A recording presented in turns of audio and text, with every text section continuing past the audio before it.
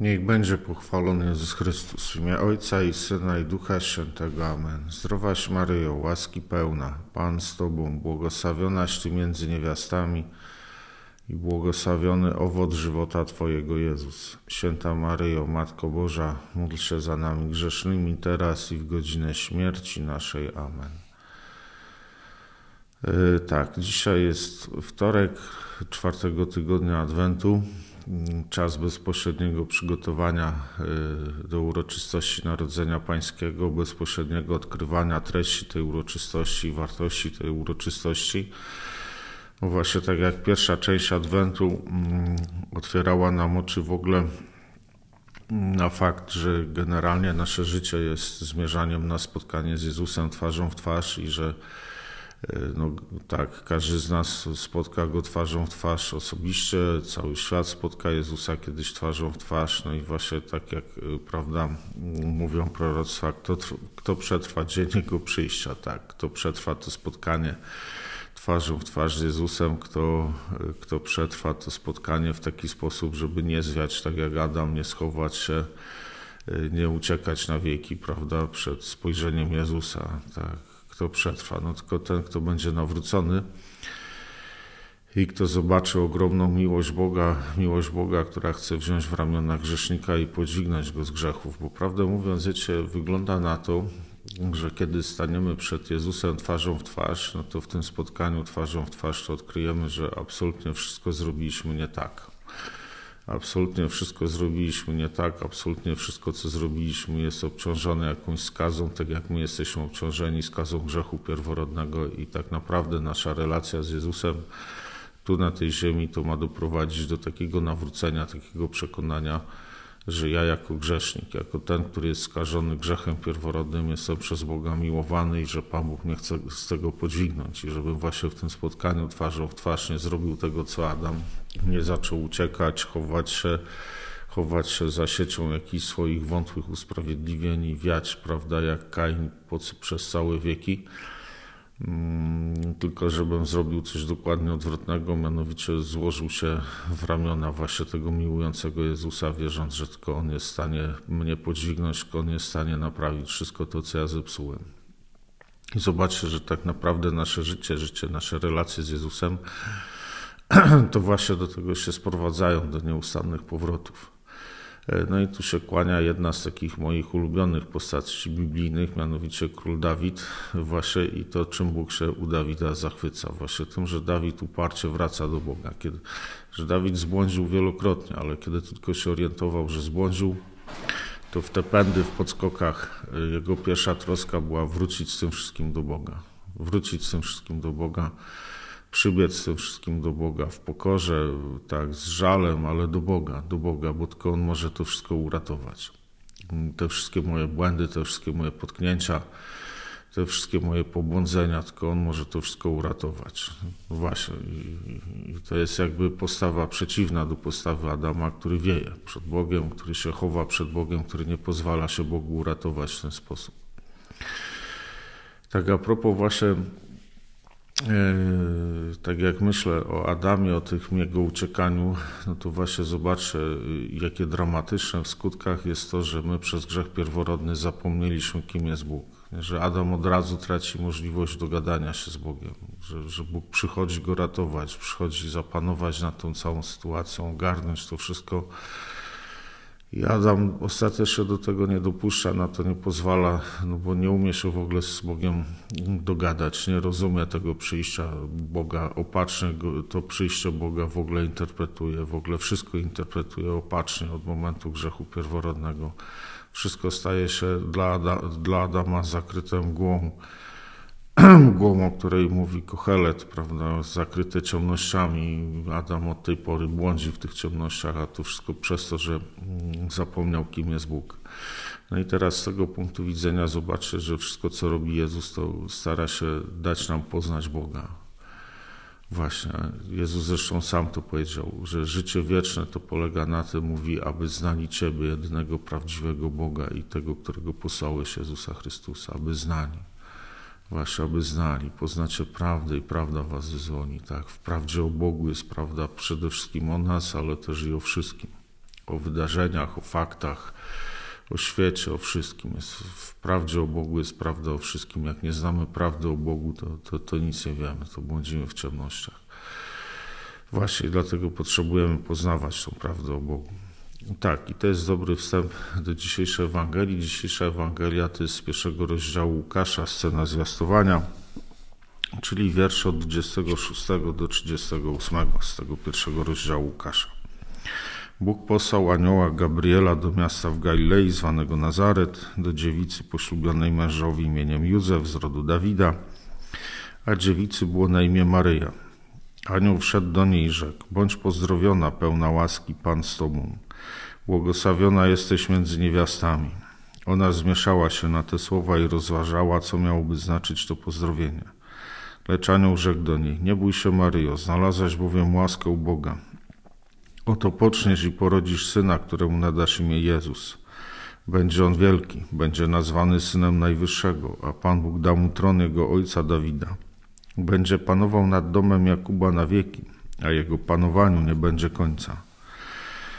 Na to Maryja rzekła do anioła: Jakże się to stanie, skoro nie znam męża? Anioł jej odpowiedział: Duch Święty stąpi na ciebie i moc Najwyższego osłoni cię. Dlatego też święte, które się narodzi, będzie nazwane Synem Bożym. A oto również krewna Twoja Elżbieta poczęła w swej starości syna i jest już w szóstym miesiącu ta, która uchodzi za niepłodną. Dla Boga bowiem nie ma nic niemożliwego. Na to rzekła Maryja. Oto ja, służebnica pańska, niech mi się stanie według Twego słowa. Wtedy odszedł od niej anioł.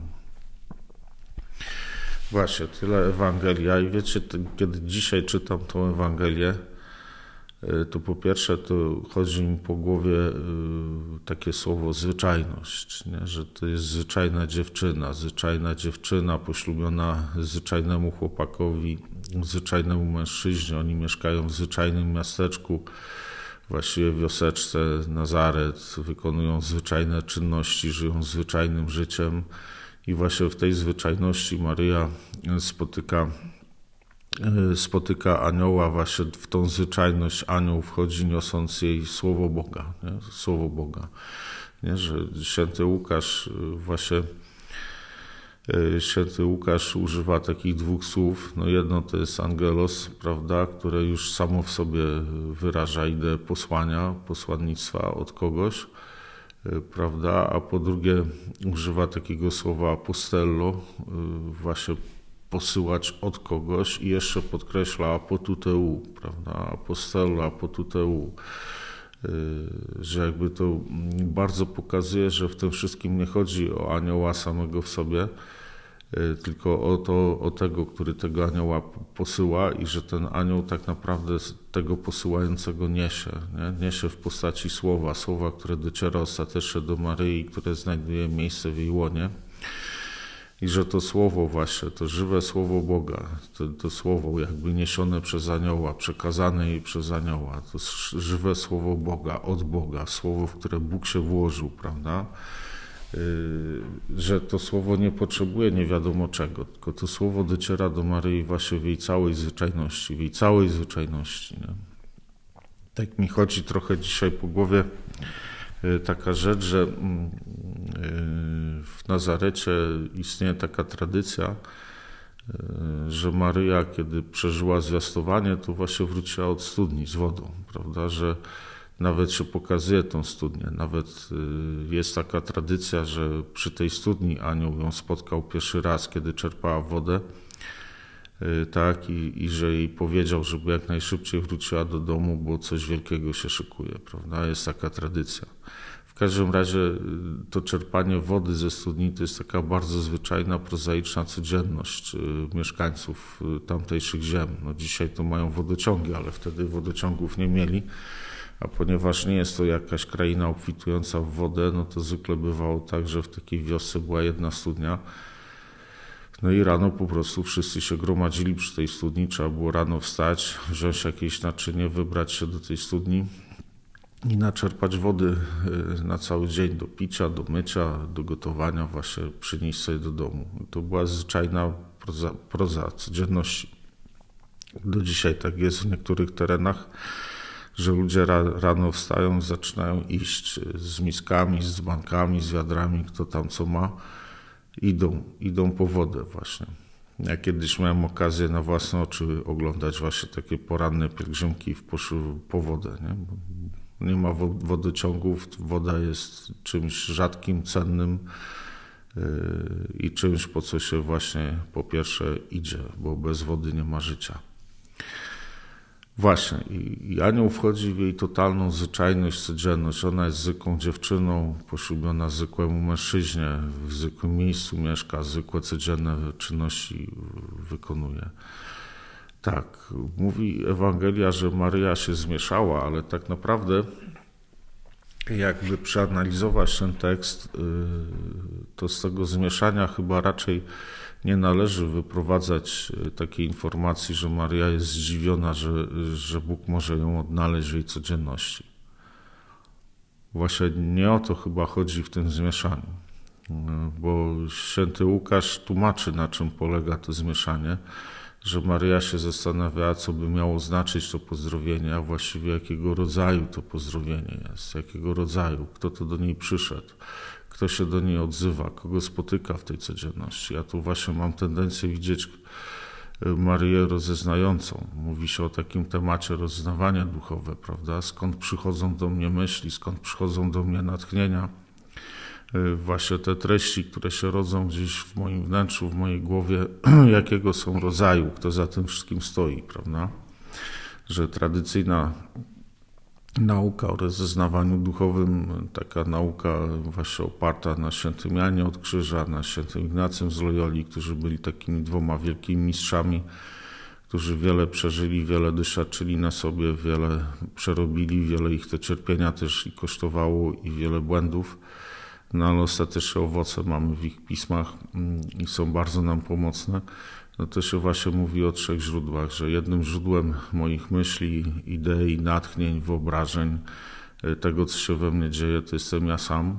Drugim źródłem y, to może Bóg być i, i tak zwany w ogóle dobry duch, czyli no, wszystkie istoty, wszystkie osoby, które mają cokolwiek wspólnego z Bogiem, Bóg i Jego otoczenie, by się tak wyrazić.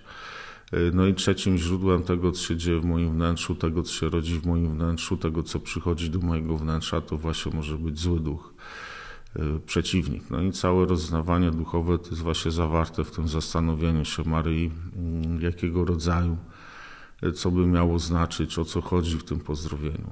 Właśnie raczej tu należy właśnie widzieć to, nie? W tym, w, w tym wszystkim, nie? że do Maryi przychodzi słowo, tak? Przychodzi słowo, zostaje przyniesione słowo. I teraz Maryja bardzo się interesuje, czyje jest to słowo, jakiego rodzaju jest to słowo, skąd pochodzi to słowo, kto się podpisuje pod tym słowem, prawda?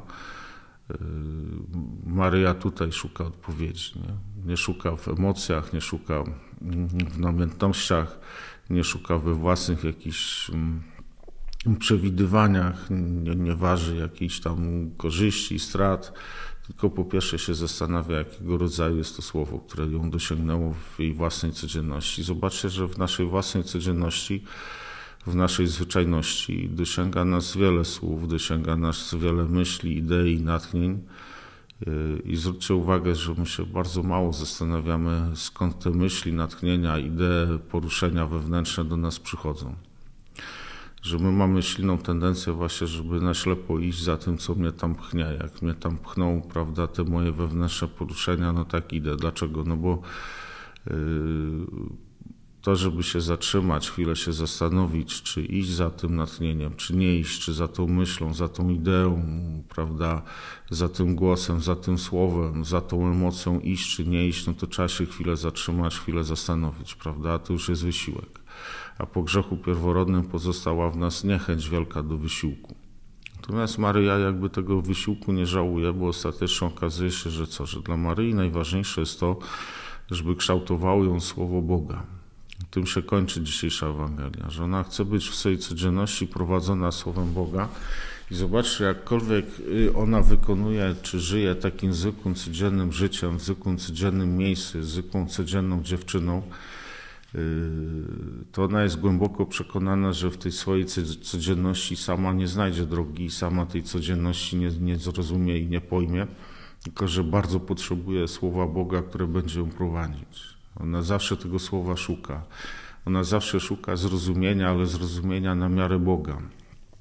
Ona zawsze właśnie szuka i zbiera w swoim sercu, zbiera. I co ciekawe, y, to anioł, kiedy mówi o tym, że Maryja pocznie i porodzi syna, pocznie, to słowo pocznie, to po grecku to jest sylambano, to jakby mm, to słowo sylambano to właściwie zbiera, y, znaczy wyraża taką ideę zbierania, gromadzenia, zbierania, y, zbierania razem, że Maryja coś w tym swoim łonie pozbiera, tak? I, I, że to ją uzdolni do tego, żeby dać światu syna, tak? Że Maryja tak dokładnie pozbierała te wszystkie słowa od Boga, że to słowo stało się ostatecznie ciałem w niej i poprzez nią przyszło na świat jako słowo wcielone, słowo, które, które stało się ciałem i rozbiło namiot pośród nas. Właśnie, że to jest to, że Maryja pielęgnuje w sobie wszystko to, co pochodzi od Boga, że ona chce być kształtowana tym, co pochodzi od Boga. Chce być prowadzona w swojej codzienności tym, co pochodzi od Boga, że ona ma głęboką świadomość, że ona potrzebuje Boga, żeby sobie poradzić ze sobą i ze swoją codziennością, mimo że ta codzienność jest taka prozaiczna. Natomiast zobaczcie, e, przyjrzyjmy się nam, czy my rzeczywiście mamy taką głęboką świadomość, że my, żeby poradzić sobie z naszą codziennością, ze sobą na co dzień, e, że tak bezwzględnie potrzebujemy Boga, potrzebujemy Jego Słowa. Czy łapiemy te Jego Słowa właśnie tak łapczywie, tak pieczołowicie, Y, jak Maryja, właśnie w przekonaniu, że każde słowo, które trafia do mnie od Boga, no to jest skarb nieoceniony, bo w, te, w, te, w, w to słowo Bóg wkłada samego siebie, całą swoją miłość do mnie. Że On wypowiada te słowa do mnie z miłością, prawda? Z całą miłością, którą jest On sam że każde słowo, które przychodzi do mnie od Boga, niesie Jego miłość i że ta miłość chce być siłą i światłem, która będzie mnie prowadzić w mojej codzienności, która chce mi dawać zrozumienie, zrozumienie Boga, tego, co Bóg robi, zrozumienie dzieła stworzenia, zrozumienie wydarzeń, faktów, czynności, zadań, zrozumienie samego siebie. Że ta miłość właśnie po to przychodzi, żeby dawać mi zrozumienie. Właśnie, że zobaczcie, że Maryja jej do głowy nie przyjdzie, że ona jest w stanie zrozumieć siebie i swoją codzienność bez Boga, bez tego łapczywego gromadzenia tych Bożych słów, tego co pochodzi od Boga, y, bez chwytania tego wszystkiego jak skarbu i cierpliwego rozważania w sercu. I to ją właśnie uzdalnia do tego, żeby być matką Boga. Właśnie ta jej pieczołowitość, właśnie to jej podejście, nie? Że, że Każde słowo, najmniejsze nawet słowo pochodzące od Boga jest warte zbierania, gromadzenia, rozważania w sercu, noszenia w sobie, y, prawda, bo, bo Bóg chciał do mnie coś powiedzieć, tak, i że w to, co mówi, włożył całą swoją miłość. To jest coś odwrotnego niż to, w co uwierzyła Ewa, bo zobaczcie, Ewa tak bezmyślnie wdała się w rozmowę z wężem, nie, nie, nie sobie trudu, żeby się pozastanawiać, tak jak Maryja, czy to warto wchodzić w dialog z tym konkretnym słowem. I okazało się, że to słowo wężowe niesie taką pustkę, że ta pustka wyssała wszystko z Ewy y, i zaraziła Ewę tą pustką, prawda? Y, y, natomiast Maryja zbiera, gromadzi nie, w sobie.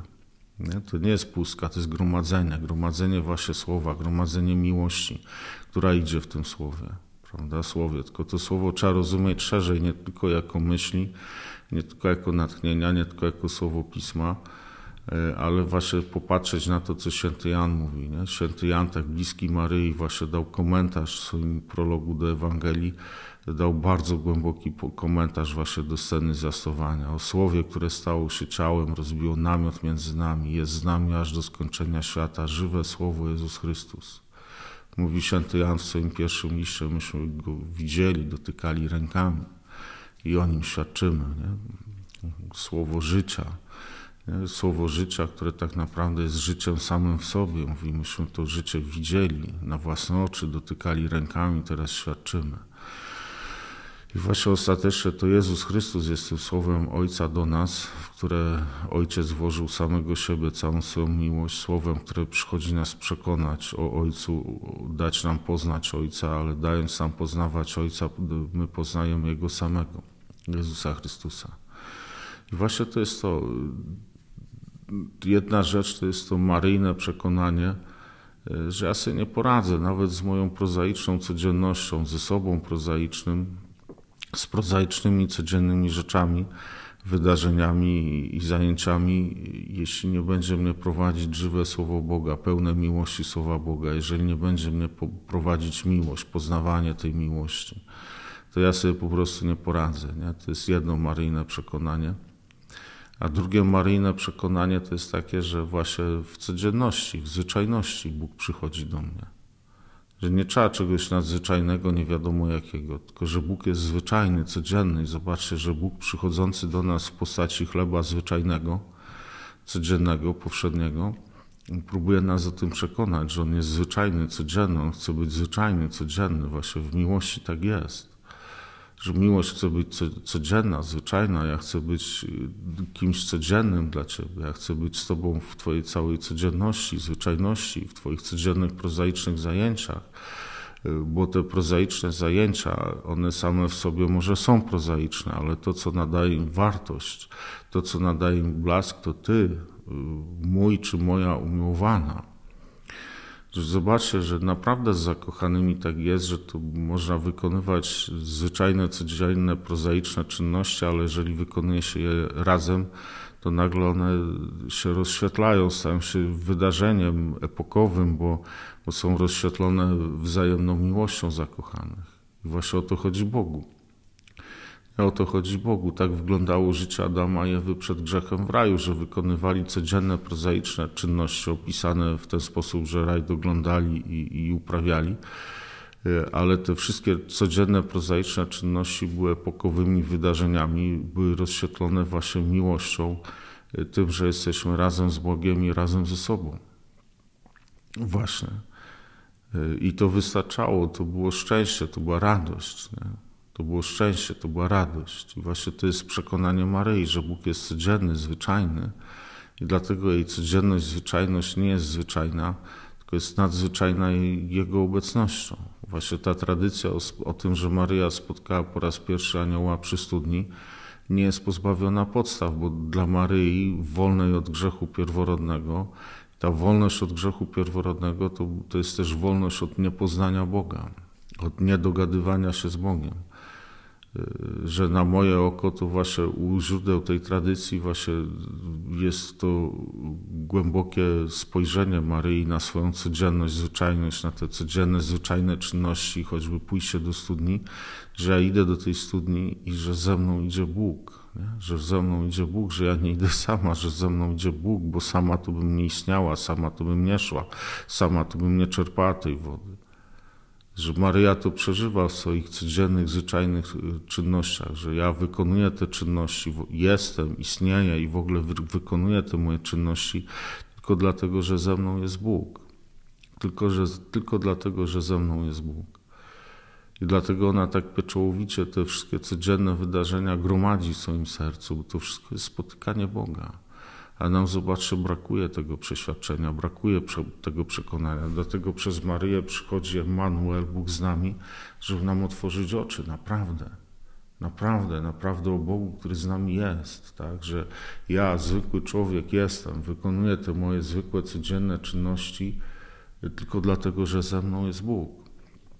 I nagle te zwykłe, codzienne czynności, w ogóle fakt istnienia i wykonywanie tych zwykłych, codziennych czynności staje się głęboką informacją o Bogu, który ze mną jest, a jest ze mną dlatego, że mnie kocha. Ja jestem, istnieję dlatego, że ten Bóg mnie kocha i chce być razem ze mną, razem ze mną to wszystko wykonywać i zaprasza mnie, żebym ja to wykonywał wszystko razem z Nim, czyli z miłością.